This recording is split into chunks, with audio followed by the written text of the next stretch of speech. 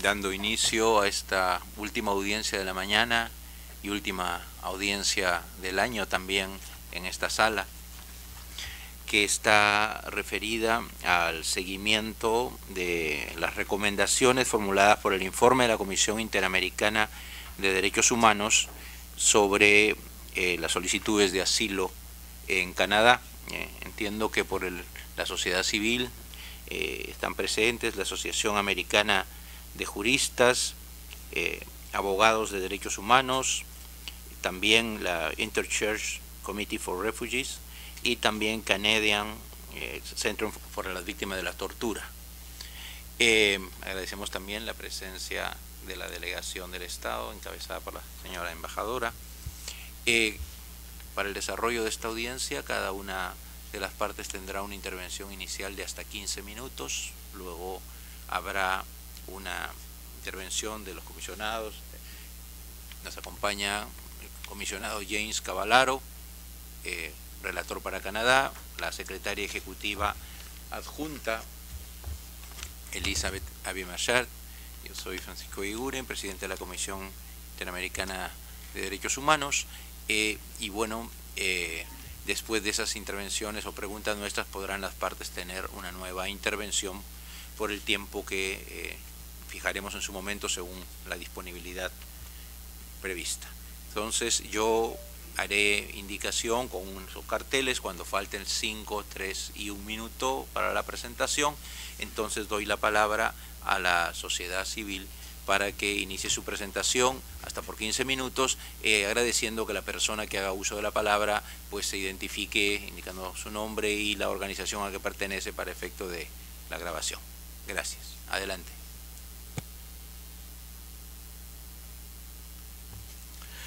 Good morning. I'm Tom Clark. For almost 20 years, I was the coordinator for the then Interchurch Committee for Refugees, linked to the Canadian Council of Churches.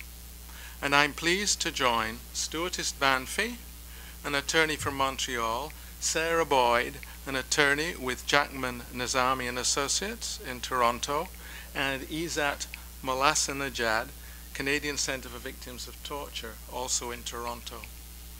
And I bring some background. In 1989, the Council of Churches challenged the constitutionality of the of a new Immigration Act before the courts.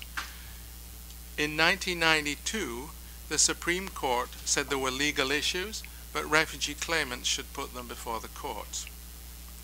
In 1992, I sent Mrs. Joseph's case, the first Canadian complaint, to the Commission, and it was about deportation, family separation, and due process. We learnt that judicial review was to be tried. Other cases followed, in 1996, a general hearing was held, an on-site visit followed, and your 2000 report issued. Things changed. We had terrorists, but also we had the final report in 2003 on human rights and non-citizens from the then UN Subcommission on Human Rights, with its focus on non-discrimination, something that was picked up internationally and in your case law involving the report on the United States and immigration. it's the consequence of that last hearing and on-site visit that made me want to be here today. The on-site visit played a hugely positive role in raising awareness of the Commission and its work and the naming of Canada's human rights obligations. You listed this hearing today, Mr. President, as a follow-up on recommendations. We have reviewed your recommendations from 2000, and you have a report from Sarah Boyd on our behalf. Our list of issues for today covers them and updates the situation. You have written material. Let me skim some of the issues. The item 2 on our agenda to you access to a substantive refugee hearing still not available for every refugee claimant. Item 4 on our list. There is now a refugee appeal, but only for new evidence of a certain type, and some refused refugee claimants cannot use it. The two administrative processes, pre-removal risk assessment and an application for humanitarian and compassionate grounds remain for many refused and excluded, but not all. They do not suspend deportation. Under item 5, your family reunification concerns for recognized refugees still bring delays, and new requirements have brought new hardships. Item 6 is detention. Yes, we still have detention issues. Item 7, family rights and children's rights in deportation remain just factors to be bundled with others by administrative decision makers. My colleagues will elaborate.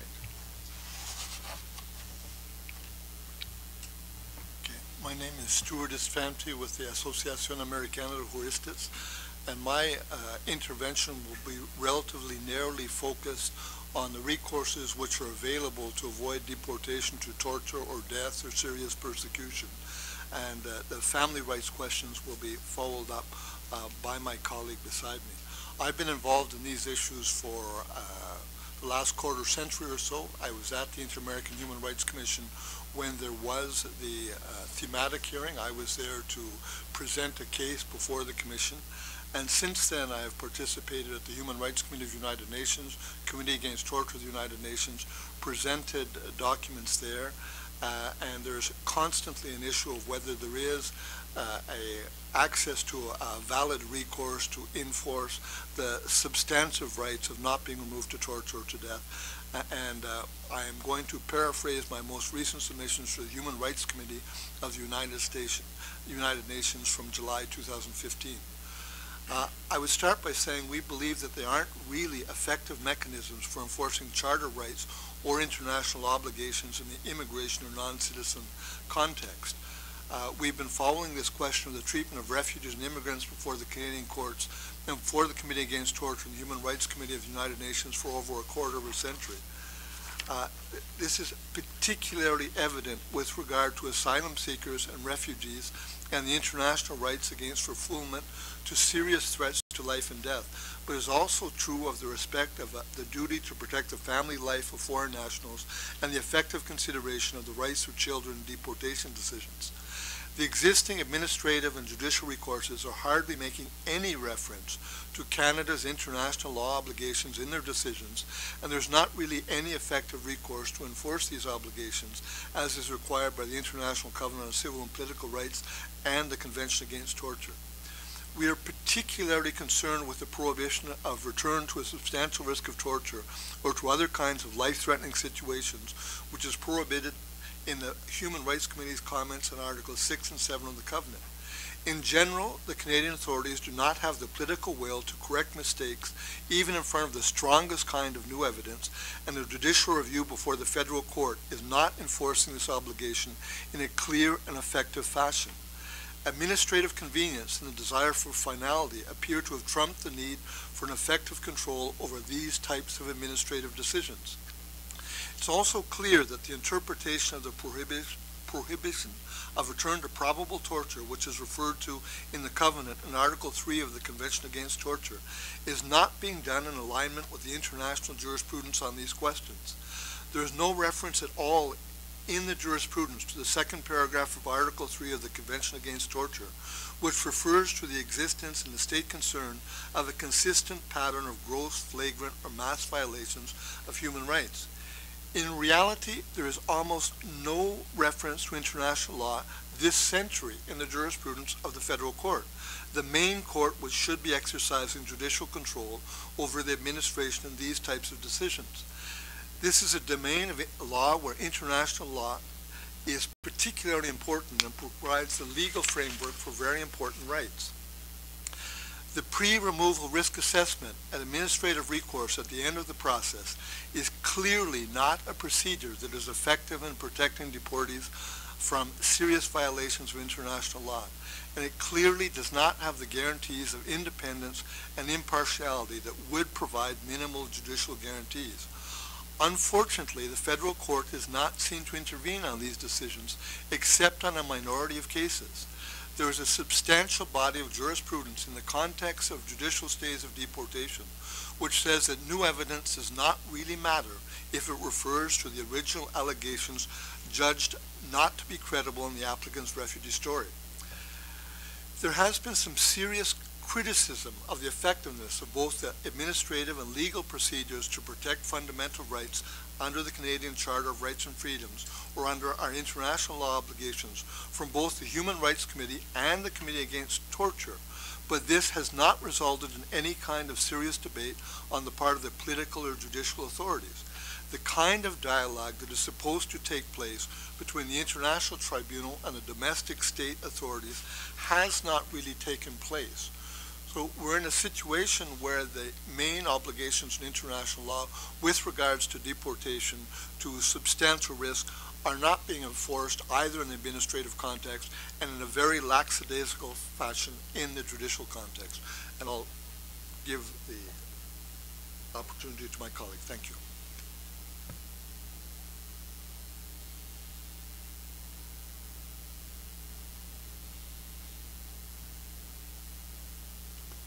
I'm going to speak as briefly as I can about the family reunification issues, um, issues with deportation for very minor, uh, relatively minor criminal records, and also with um, detention, which uh, remains an issue.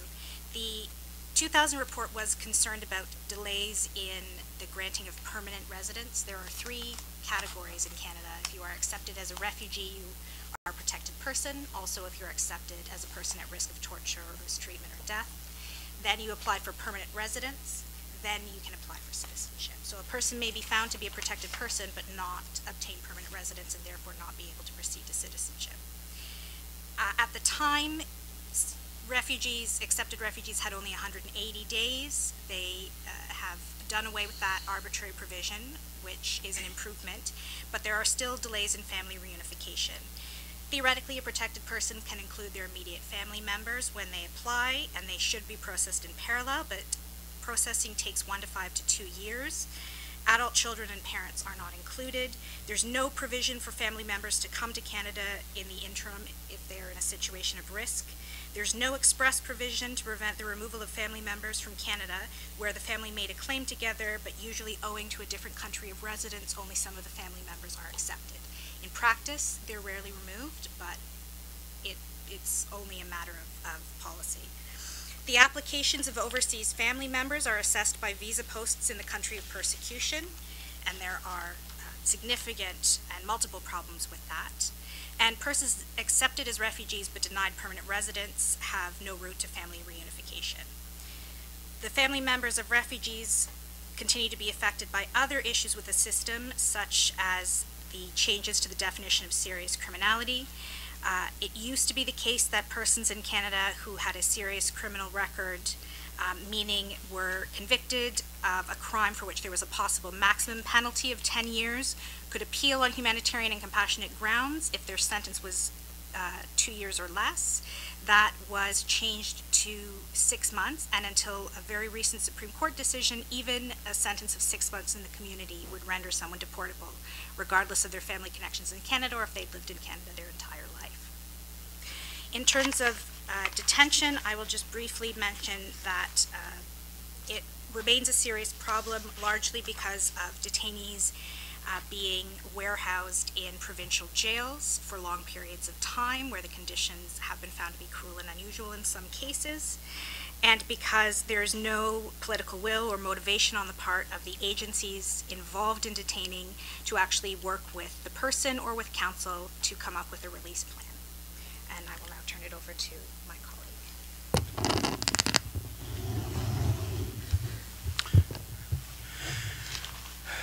Good afternoon. My name is uh, Mossallanejad. I work with the Canadian Center for Victims of Torture. Uh, it is a non-government charitable organization that helps survivors of torture, uh, war, genocide, and crimes against humanity to overcome uh, everlasting effects of uh, their trauma. Since it, uh, its inception in 1977, our center has provided the ho uh, holistic services to over 24,000 survivors of torture from 136 countries. We are particularly interested in a strict prohibition of torture, prevention of torture, uh, the principle of non-refoulement to torture, and specifically uh, rehabilitation of survivors. Uh, I'm going to share with you today the plight of non-citizens uh, in limbo in Canada. The term, lim the term limbo uh, denotes any place or condition of uncertainty, instability, or being taken for granted. Based on our documentation about the global perpetration of torture, limbo is used as an actual technique of torture by torturers, war criminal, criminals, and perpetrators of genocide. Unfortunately, there are certain gaps in immigration, refugee, and, immigra uh, and uh, uh, legislation and practices that keep non-citizens in limbo. Uh, we have been uh, serving uh, survivors in limbo coming from different countries. Let me share one example with you. Uh, this woman survivor came to Canada along with her husband 31 years back. They deemed them inadmissible due to their membership in an agency that is no longer in the terrorist list of Canada. Uh, she doesn't have access to health uh, benefits. She doesn't have work permit. She doesn't have uh, permission to study. Uh, they suffer in silence. Their citizens, uh, their children got, were born in Canada. They got Canadian citizenship, uh, but parents are still in limbo. Uh, days and nights passes, and their physical and psychological conditions get worsened and worsened, and they have to live between fear and hope. Uh, so, what uh, there are um, uh, there are hundreds of cases of non-citizens in Canada in limbo. There are vulnerable women, youth, and senior citizens. People are limbo due to various reasons, including uh, government security obsessions and alleged or real criminality people in limbo suffers from family separation and their children suffer in silence due to lack of any status. Uh, while we endorse the Canadian government's global campaign against terrorism, we are concerned about its excessive measures of post-September 11. There is a need for, the, for genuine effort by the government to reform its domestic legislations and practices concerning implementation of the fundamental rights of humankind. We strongly request Canada to ratify optional protocol to the Convention Against Torture and 1954 UN Convention on the Protection of Stateless People. We are particularly concerned about uh, keeping non-citizens in immigration limbo indefinitely. Let me share some of our positive uh, experiences in this area. A Sri Lankan client of the uh, center received uh, his permanent resident status in Canada after languishing in limbo for 41 years and an Iranian after 20 years. This means that it is possible for the government to remedy the anguish of people who suffer in silence because of being in prolonged immigration limbo. Thank you. Muchas gracias. Eh, la palabra ahora para el Estado. Sí, señora embajadora. Thank you very much, and good afternoon, commissioners, and uh, good afternoon to the petitioners as well. My name is Jennifer Loten, and I am Canada's permanent representative to the Organization of American States.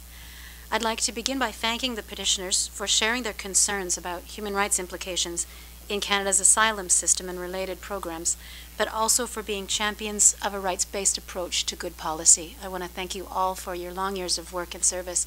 Government, good government is a partnership, and we count on the role that you all play every day to advance these important issues. Canada has a proud humanitarian tradition. Providing protection to refugees is part of this tradition. The objectives of Canada's refugee programs reflect our obligations under international conventions on protection, such as the 1951 Convention relating to the status of refugees and the 1984 Convention Against Torture and Domestic Law, such as the Charter of Rights and Freedoms and the Immigration and Refugee Protection Act.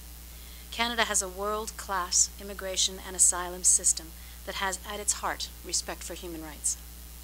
In essence, Canada's asylum system works to uphold our commitment to the principle of non-refoulement.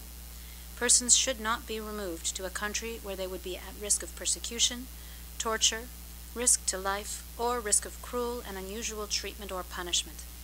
It also reflects the obligation under domestic law to provide every eligible asylum claim a fair hearing before an independent Immigration and Refugee Board of Canada, which is an independent quasi-judicial tribunal. The IRB decides whether an asylum claimant meets the United Nations definition of, of a convention refugee or is a person in need of protection. Each case is always decided on its own merit. Those who are not eligible to have their claim heard by the IRB or whose claims are rejected by the IRB and time has passed since their last decision can still apply for protection in Canada through the pre-removal risk assessment so that we can be sure that such individuals do not face, face risk of harm upon return to their home country.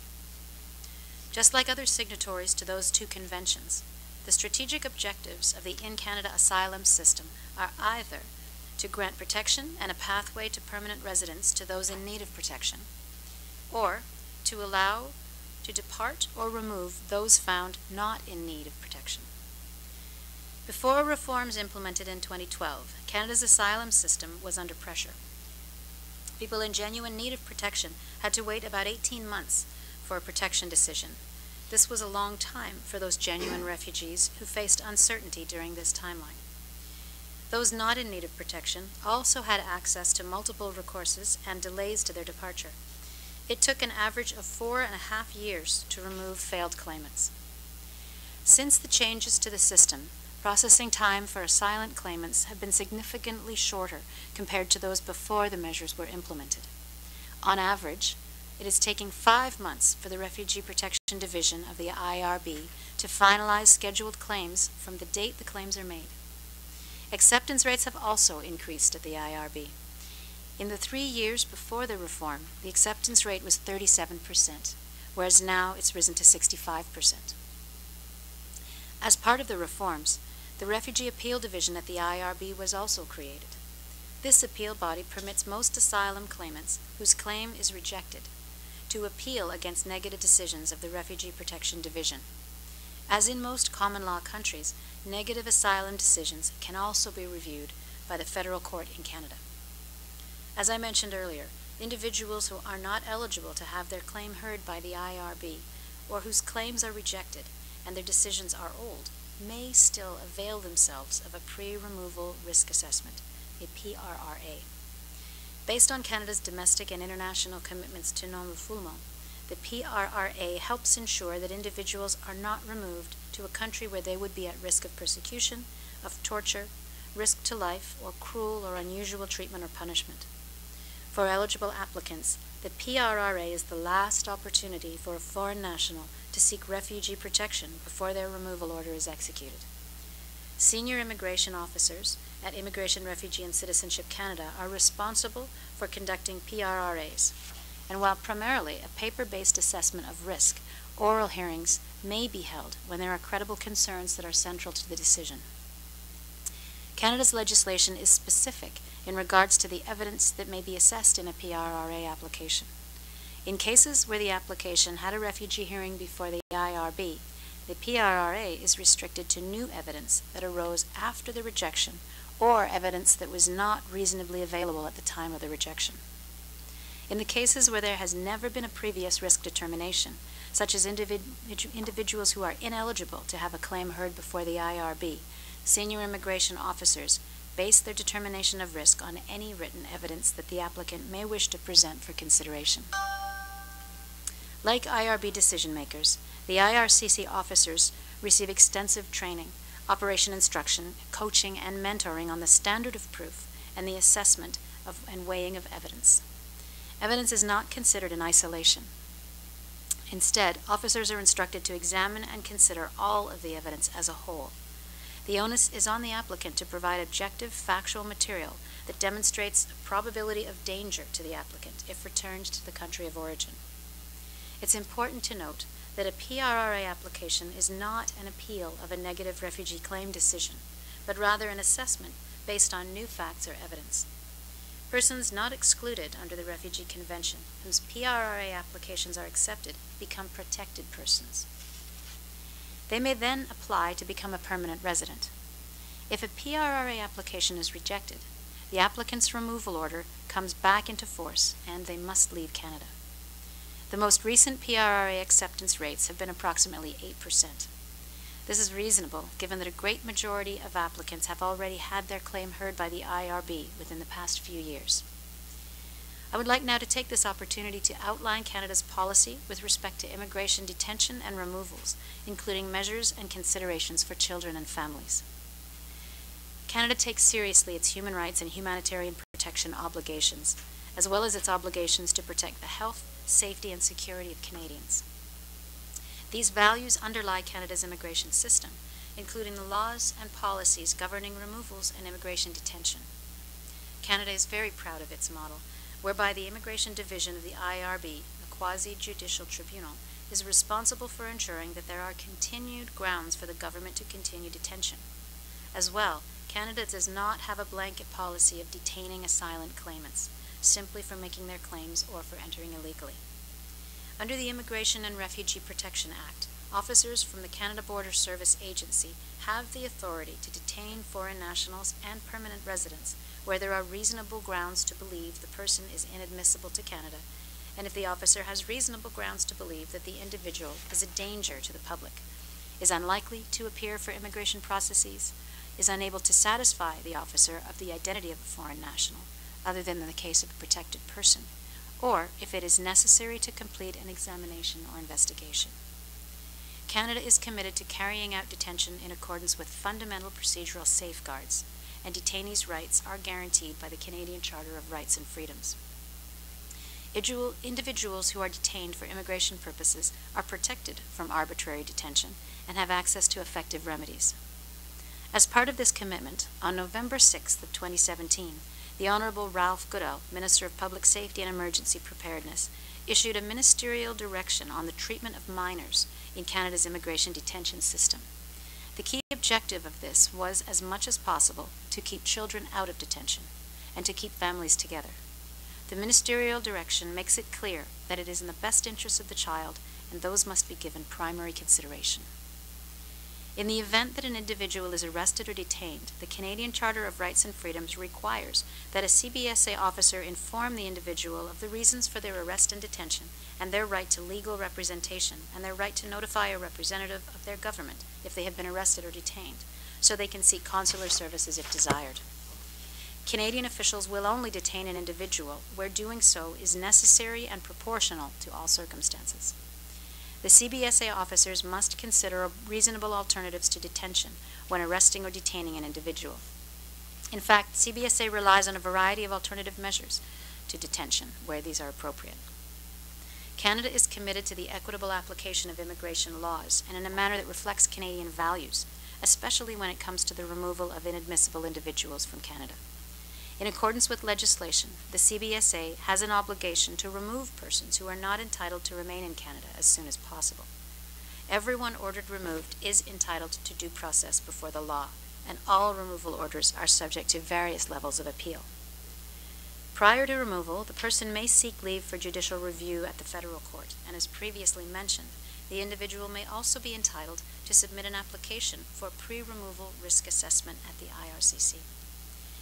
Also, as I mentioned, Canada recognizes the, the importance of promoting and safeguarding the rights of children, both in Canada and abroad, and works closely with other levels of government, law enforcement authorities, and intergovernmental organizations to ensure that decisions on behalf of children are made in consideration of their best interests and in accordance with Canadian law and regulations.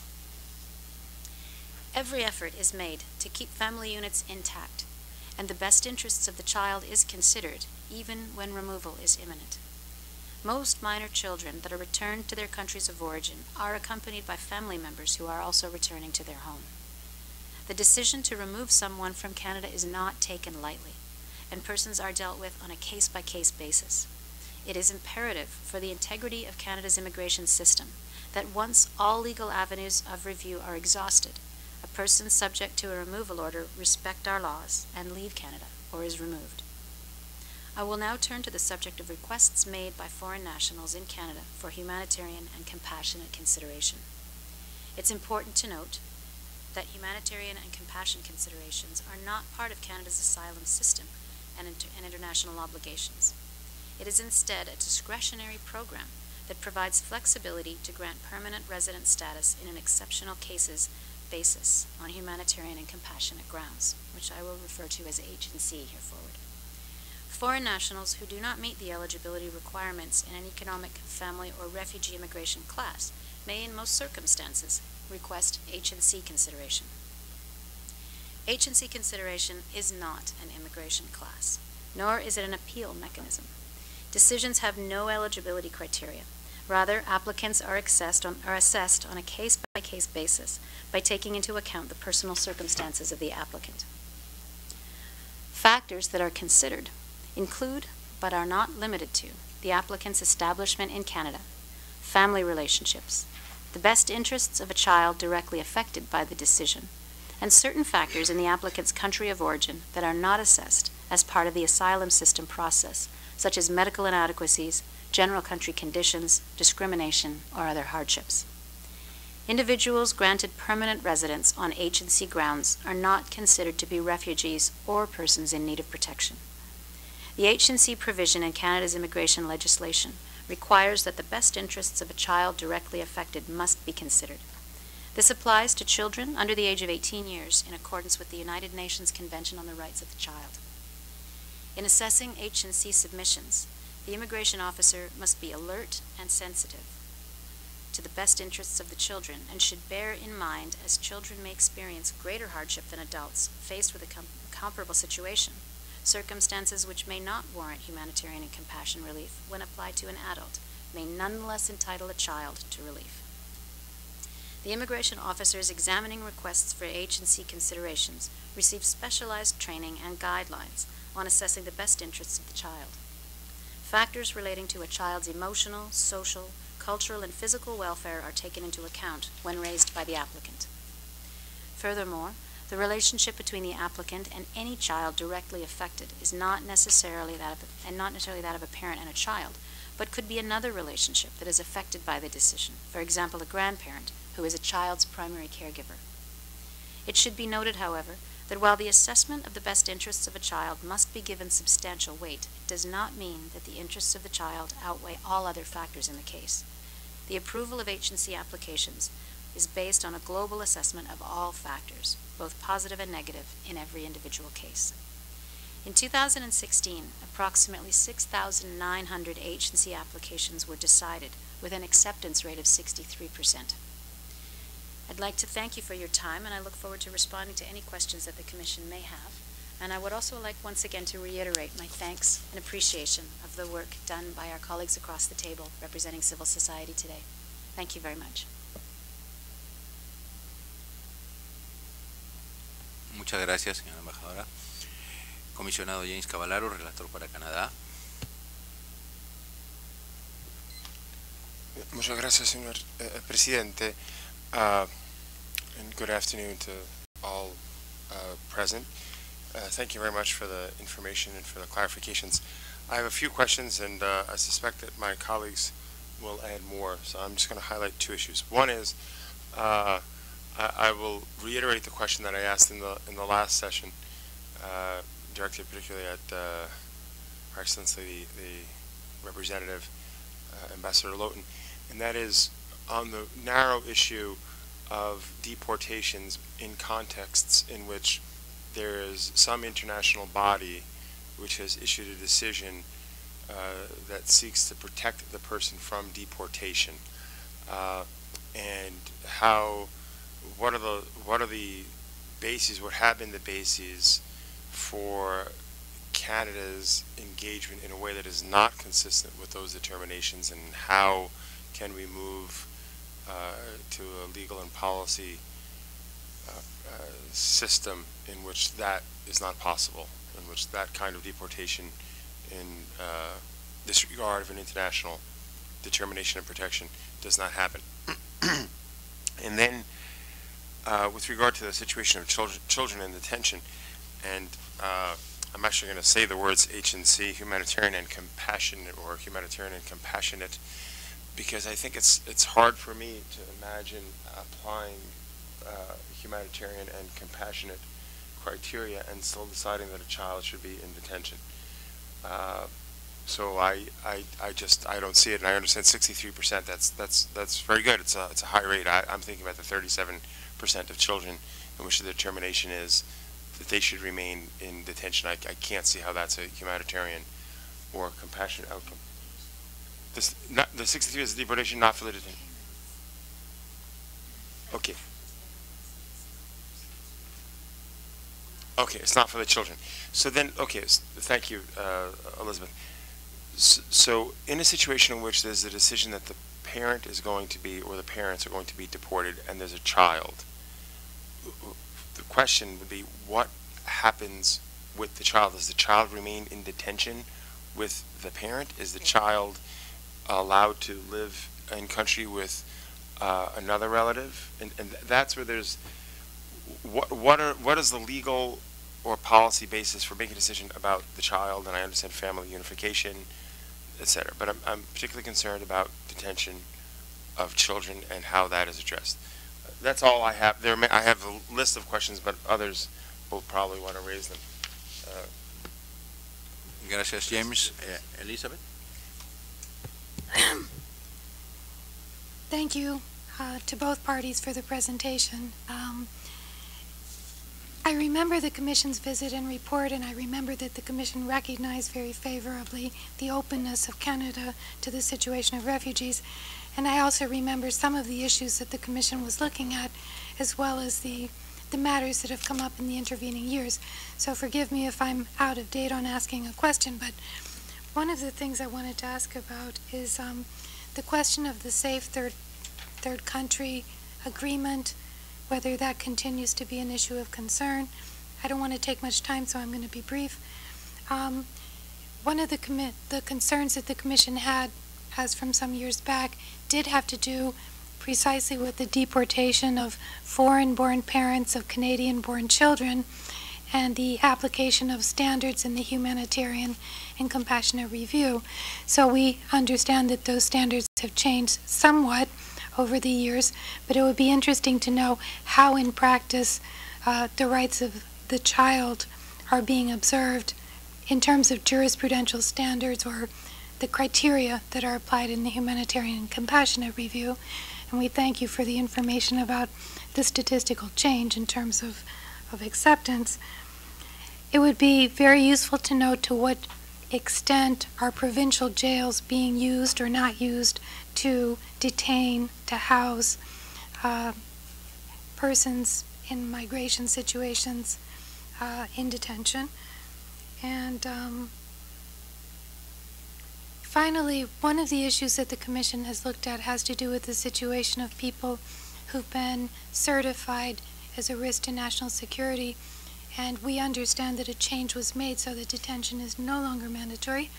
We've also received some information about distinctions in treatment between certificate, um, those who've been classified under this certificate program, and other kinds of people in immigration detention or in detention processes.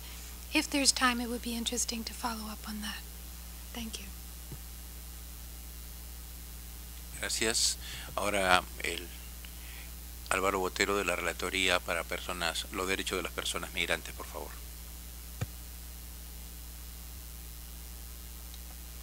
I would like also to thank both parties for your participation and all the information that you have provided to us. Uh, I would just add uh, a few questions to the questions that were posed by Commissioner Cavallaro and Executive Secretary uh, Abi-Mershed. Um, we would like to know what measures has been taken by the state uh, in order to ensure non-discrimination in immigration and asylum procedures. Um, we would also like to know a little bit more about what alternative to detention has been implemented by the Canadian state in recent years. And the last thing is, uh, according to the standards developed by the Inter-American system, how is the Canadian state guaranteeing the principle of non-detention of children uh, in immigration and asylum procedures? Uh, thank you. That would be all for me. Muchas gracias. Muchas gracias, Álvaro. Eh, ahora tendrían la intervención cada una de las partes eh, hasta por cinco minutos y recibiremos lo que hasta aquí se pueda comentar y lo demás estaremos muy interesados en poderla recibir con información por, por escrito. Entonces doy la palabra hasta por cinco minutos a la sociedad civil.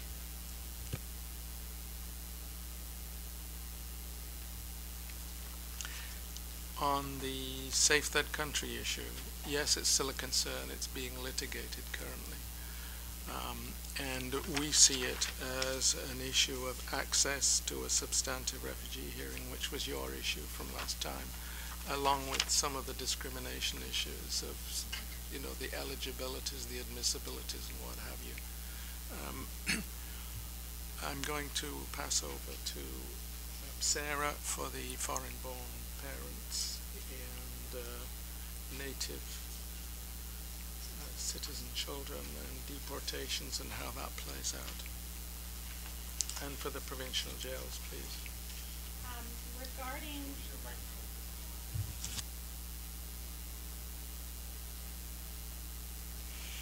Uh, regarding the position of Canadian-born children um, uh, with foreign parents being deported, uh, we do still have uh, birthright citizenship. But the government's position is traditionally that the child's right to be in Canada um, is not violated by the parent's deportation because the parent can leave them in Canada or they can return as an adult. Um, now that's the hardest line that they take and, and there are certainly cases where, you know, where the, it can be shown that the child's best interests are very um, heavily affected by uh, removal, then they will be allowed to stay, for example, on an H&C. Um, this needs to be more robust, but I, I, don't mean to suggest that they automatically deport uh, the children. Um, with regard to that, uh, and on the H&C, the Supreme Court's very recent decision on um, Kanthasamy uh, which was an H&C of a young man who there were uh, mental health issues and risk issues, and the Supreme Court clarified um, a great deal of the law, so I, I would certainly suggest uh, that it's a very useful read. Regarding detention in provincial jails, there are very few specialized immigration detention holding centers in Canada. And even where there are, so for example in Toronto, if a person has mental health issues, ironically, they are sent to the provincial jail. If a person has any history of criminality, they are sent to the provincial jail. Apparently, that's a result of a problem with the insurance at the Immigration Holding Center. Um, I would draw the Commission's attention to two decisions. Uh, Ogiamien versus Ontario, that's O-G-I-A-M-I-E-N, um, a 2016 decision of the Superior Court, and a 2017 uh, decision of the Court of Appeal overturning that. They can both be found on CanLII, uh, C-A-N-L-I-I dot org, which is uh, the best open source of uh, Canadian law. And they go into quite a bit of detail about the conditions in those jails to the extent that the lower court found uh, to be cruel and unusual, although this was overturned by the higher court. But it does give a good description of the circumstances in the provincial jails I'll try and go very, very quickly here. On the PRA process, the pre-removal risk assessment, there's nobody uh, in terms of the Human Rights Committee in Canada that believes in the PRA and effective recourse. It has been criticized quite strongly by judgments of the Committee Against Torture and the Human Rights Committee, which we are prepared to provide to the Commission. Uh, the rate of acceptance for most of its existence was about 2% the current rate of overturning judgments at the Immigration Refugee Board Protection Division is about 25%. So about 10% uh, of the people who should have stayed probably didn't, looking at the figures of the recent Refugee Appeal Division. Uh, on the point of uh, deportation for family rights, I think it's important to underline that the Commission set out what is the international law on this point in paragraph 166 of the previous report, and which talked about that you shouldn't break up families unless there's a pressing need to protect public order, where means are proportional, and where the, the reasons justifying the interference with family life are very serious indeed. I would submit to this commission that there are there is massive and systematic violation of those precepts of international law, particularly with young racialized minorities, especially young blacks who have been in, Canada since they were nine or ten years old, and then they get one uh, criminal conviction and end up being deported to countries that they don't even know almost automatically by the current system.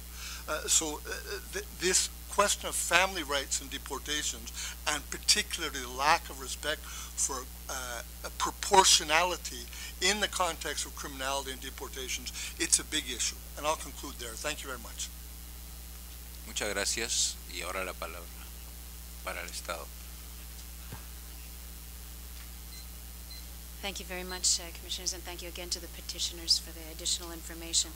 Th this is a very complex area of law, and I don't intend to, to uh, deal with it in any high-handed way. I will provide a, a few um, high-level responses to the specific questions you asked. For example, I'd like to make sure that uh, the committee is aware that reference was made in the petitioner's statements to the optional protocol on, against torture, and I just wanted to say that Canada has announced that we will adhere to that, that we have initiated the process to adhering to that optional protocol. So that's one piece of good news that I can share. Uh, the other thing that I'd like to mention is that in November, um, Ralph Goodale announced a ministerial directive on the treatment of minors in the Canadian immigration detention system. Um, and he was following up and implementing the National Immigration Detention Framework, which was announced in August of 2016.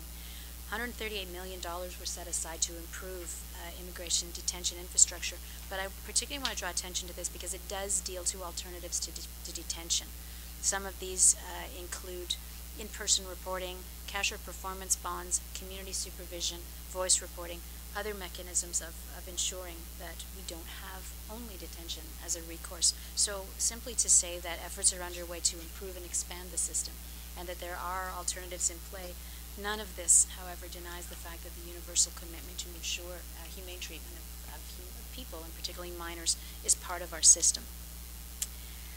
Um, as far as the other specific questions are concerned, I will say that my colleagues are taking very detailed notes and we would be happy to provide additional information. And again, I do want to underline this is a very uh, specific area of law that I want to be sure that Canada responds to accurately. And uh, given that it is not any area of my own personal expertise, uh, I don't I don't want to go any further at this time, but I will commit to ensuring that the responses that you need are provided uh, in a timely way.